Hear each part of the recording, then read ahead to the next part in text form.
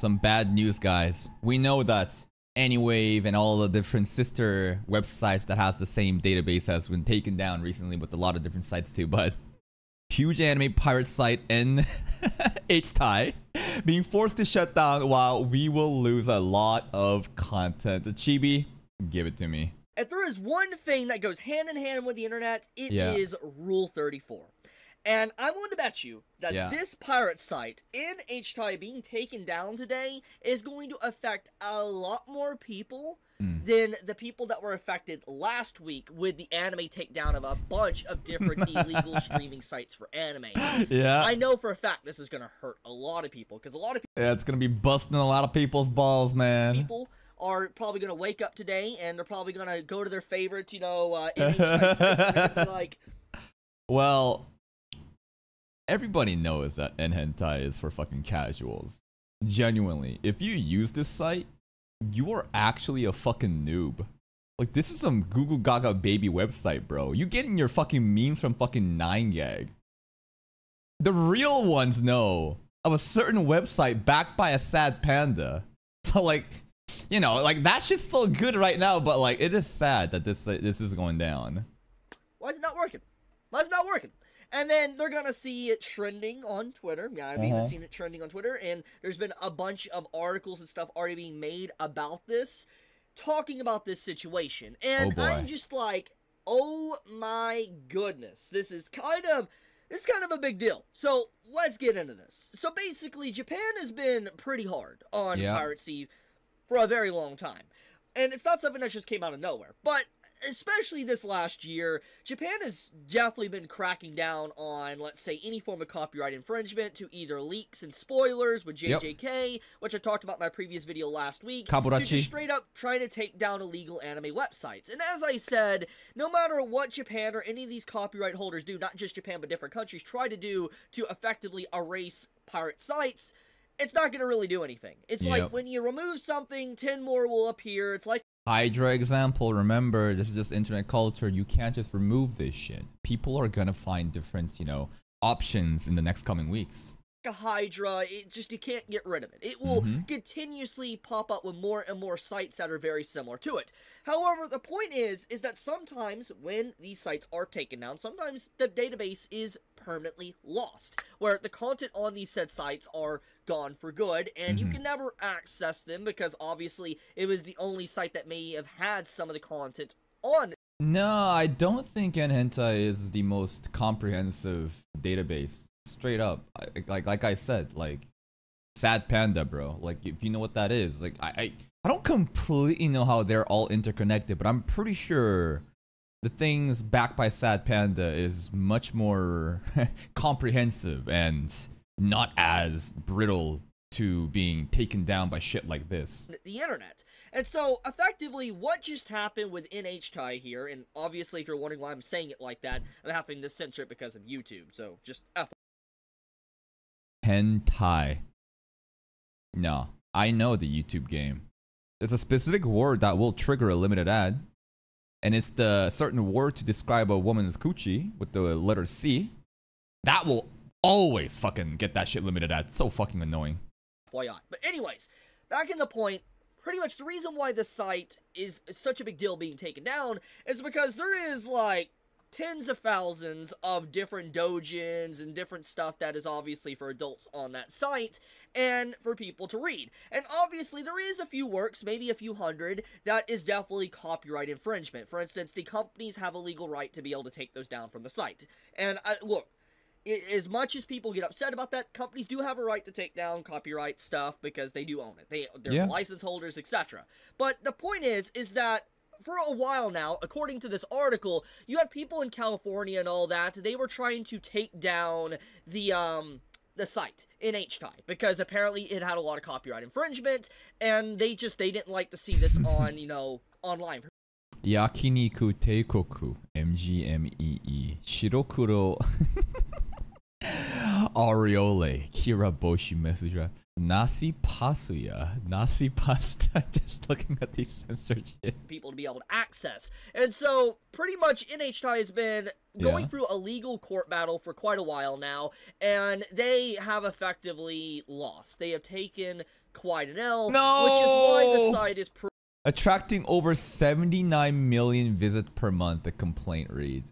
Damn, that's pretty good, man. pretty much down at this point. Now, here's the thing. The the overall allegations or what is being said within this copyright infringement case is that obviously NHTI has posted quite a few you know works that could be considered illegal. For instance, like you know a bunch of stuff that the license holders hold and Yeah. they copyrighted them.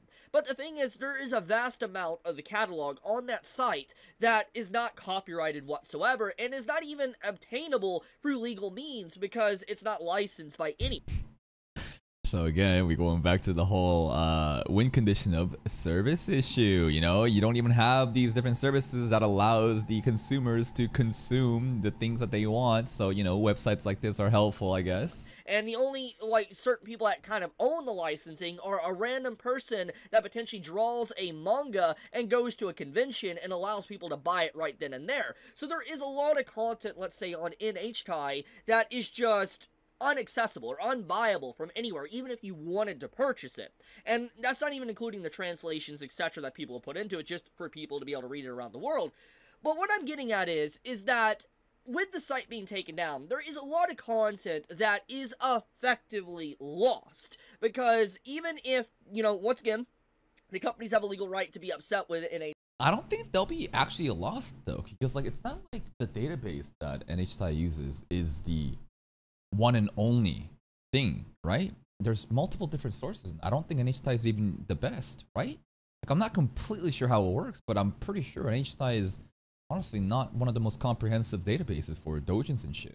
HTI and get their works off the platform, they took down the whole site, which means a bunch of works that are not even affiliated with them are now permanently lost. And I think that's a pretty big deal because this goes back into what I talked about last Service week when issue. it comes to the whole piracy situation, and that piracy is a service issue. And I don't want to retread what I talked about last week and say the exact same thing, but this once again reinforces the point I was trying to make, is that you know, when you continue to push people away and you don't offer a product legally and a good product at that, people will find other ways to obtain said product. And in this Yep. case, obviously, you know, NHTI, yeah, it's a big blow. And there's probably going to be some works that are theoretically lost and you'll never be able to see again unless someone has it saved or something. But there is alternatives still out there. I'm not going to name drop them.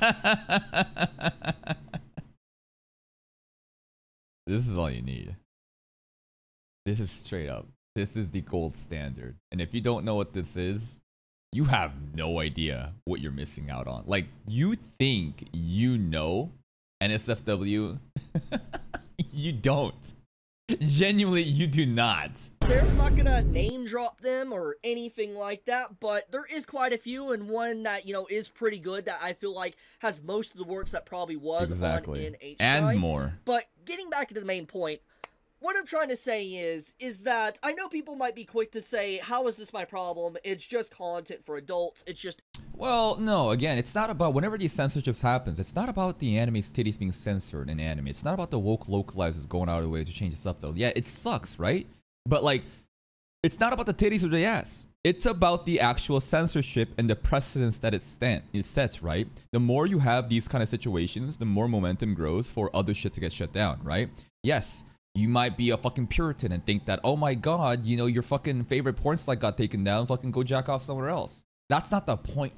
The point is the precedence that this sets as we move forward and companies starts to take more shit down and even your favorite shit. And by the time that comes by, other people will say the same shit to you. And you will understand how stupid of a point it is to say, oh, it's just fucking titties and ass being censored. It's not about that. 18 plus content, etc. This doesn't really matter in the grand scheme of things. And here's the thing: the reason why this matters is is because you have a big, massive collection that is just being taken on offline that you know technically the copyright holders have nothing to do with because there's stuff that's not even licensed and you know is not even affiliated with any of things that they're doing but they got the whole site taken down and it causes just a massive catalog to be permanently lost it's kind of like you know people that try to find found footage videos or anything like that, it's like content is permanently lost from the internet. It's rare, but it can definitely happen, and I hate to see stuff like that. So I feel like this overall copyright situation is uh, a pretty big deal. Like I said, I feel like this is going to affect a lot more people than, let's say, those that uh, probably used anime websites.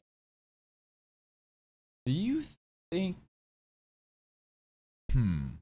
The app, like people that seek out random pirate sites versus people that seek out hentai. I think there is less people that seek out just anime because like people just want to rub one off and they just see any fucking anime girl. Yeah. I think there's definitely gonna be more people impacted by this. I agree. Sites that got shut down last week. I'm curious to see what people will say. I mean, looking at my comment section just on my post I made a few hours ago, I'm already starting to see a lot of people, just, you know, genuine reaction and how upset they kind of are about the situation. So I think this kind of shows, yeah, a lot of people.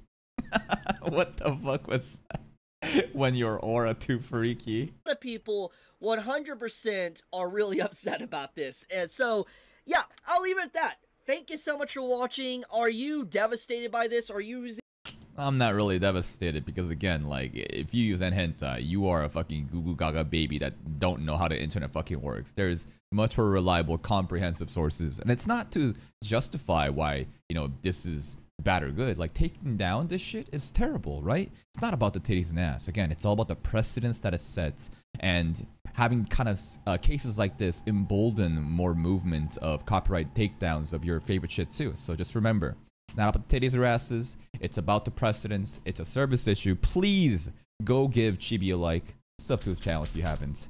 I'll see you next time.